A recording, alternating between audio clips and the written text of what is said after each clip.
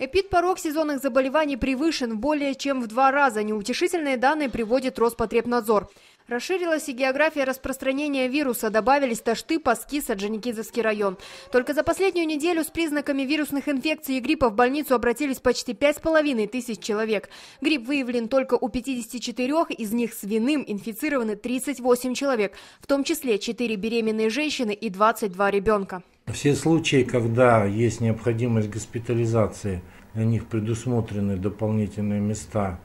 Значит, все дети, которые заболели, госпитализируются в инфекционное отделение. Женщины беременные, мы им высвободили места в терапевтических отделениях.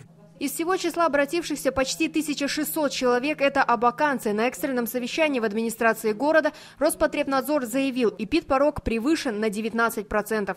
Во всех организациях рекомендовано ввести масочный режим. В детсадах и школах города ситуация относительно спокойная. Карантина ни в одном учреждении нет, хотя в четырех школах закрыты по одному классу. Однако по настоянию надзорников в Абакане, как и в Саяногорске, пошли на решительные меры – не допускать к занятиям непривитых детей. Отсутствие профпрививок влечет за собой временный отказ в приеме граждан образовательные организации, оздоровительные учреждения в случае возникновения массовых инфекционных заболеваний. То есть все основания сейчас для того, чтобы защитить непривитых граждан. Однако законы противоречивы. Родители могут обратиться в прокуратуру о нарушении прав на получение образования, в то время как и директора могут попасть под административное взыскание за допуск непривитых детей к учебе.